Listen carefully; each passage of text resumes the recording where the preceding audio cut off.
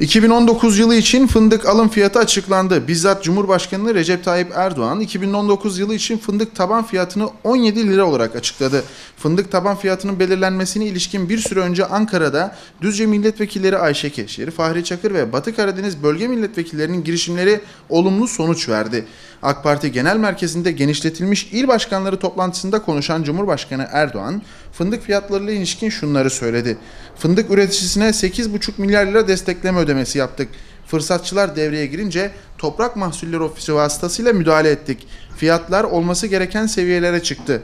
Bu yıl içinde %50 randıman esasına göre Giresun kaliteli kabuklu fındık için taban fiyat 17 lira, Levant kaliteli kabuklu fındık için taban fiyat 16,5 liradır dedi.